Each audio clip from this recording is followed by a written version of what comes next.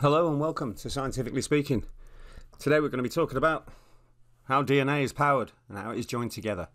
Um, there's a picture on the screen. Um, this is just to show you that uh, before I show my explanation, um, it shows that a, uh, a DNA double helix, if you add heat to it, the strands will unwind, and then if you have more heat, the strands will separate, and if you allow it to cool, it will then reform.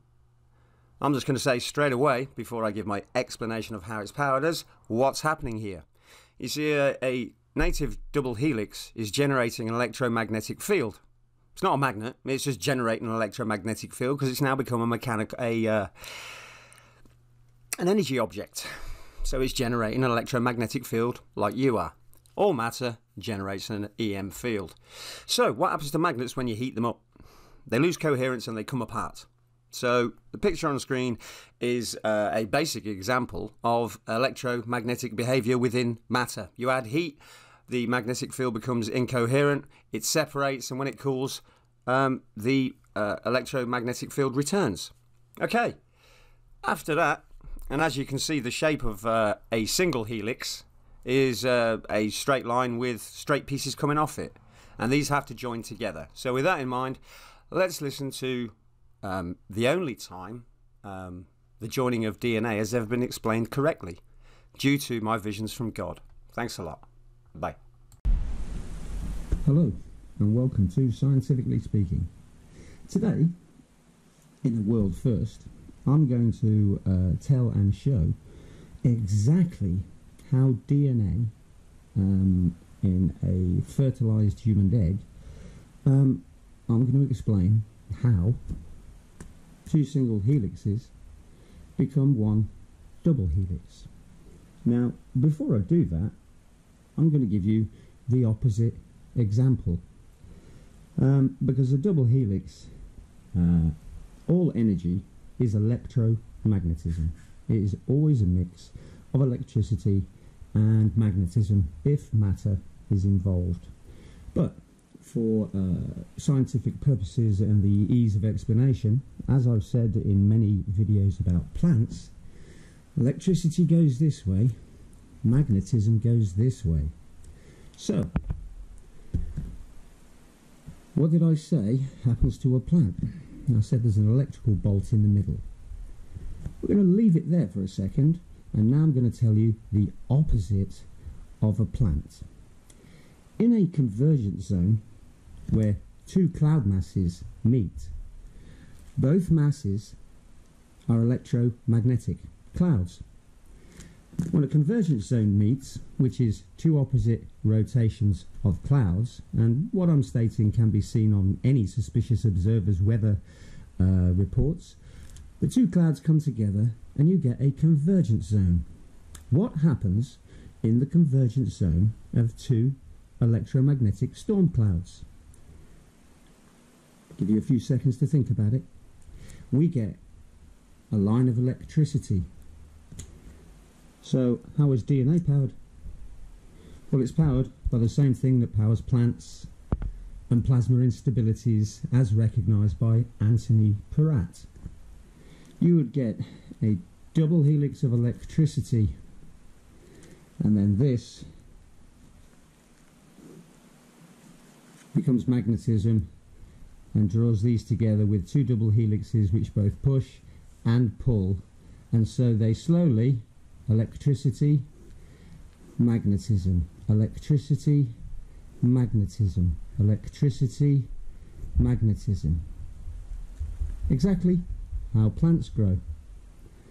And so as is seen with cuts and wounds in a speeded up time lapse they have realized that the skin zips itself up well, your skin contains an electric field, and the electric field does this. It forms a heteromac formation between the two helixes, and because one is clockwise and one is counterclockwise, you end up with a double helix.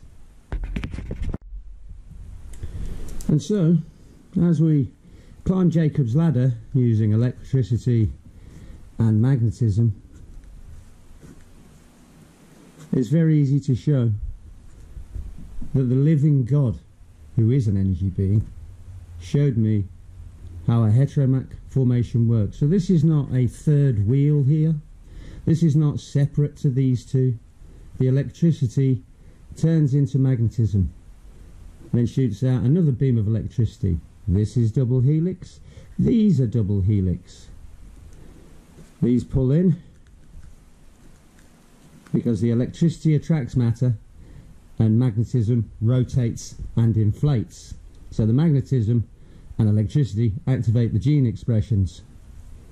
The electricity and magnetism pull in the two sides of the helix and zip it together right at the middle.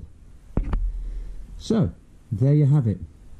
A unique explanation of how DNA becomes a double helix, not because it has three helixes, but because it has a heteromac formation of electricity to magnetism, electricity to magnetism. This electricity is this magnetism. This is not magical separate magnetism next to electricity. When electricity or magnetism hits an energy or matter barrier, it will perform a halo wave and roll into a wave. This then pulls the matter in because energy attracts matter, matter covers energy, and energy moves matter.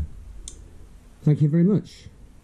Um, I don't believe anybody's ever explained how DNA pulls itself together because obviously science is not a big believer in uh, electricity and magnetism when it comes to uh, electricity and magnetism actually moving matter. But that's the thing, you see, matter's dead. Matter doesn't do anything. Matter is merely a code that energy turns into a shape. So there we have it. Electricity, magnetism, but both are electromagnetism, magneto-electric, because it's the inverse reflection of the original beam. Pure double helix energy shown to me by the God of the Bible. And I've written everything down, and uh, everything I've ever said in my videos shows that it's a double helix. And every time I've said electricity to magnetism, always electricity to magnetism. But it's always been the same thing. This is a double helix, that's a double helix, and that's a double helix. If you add these two together, it will equal that. Thanks a lot. My name's Lee. I follow the Christ, and I'm showing you all the things he shows me. I'd like to thank uh, Catfish Corners for allowing me to do this in more detail. I just thought people knew what I was talking about um, when I said it was electricity and magnetism. So I'd like to thank uh, Eric for this video because um, he started saying that there was three helixes because one, two, three. So I, I decided to um, educate the world in what I really mean, which is electricity turns into magnetism. Then, according to Anthony Peratt and a plasma instability, you end up with a heteromac of energy. And because double helix is half a heteromac, join them together and you get a double helix Jacob's ladder. You see, the inverse of this shape and this shape is the cross.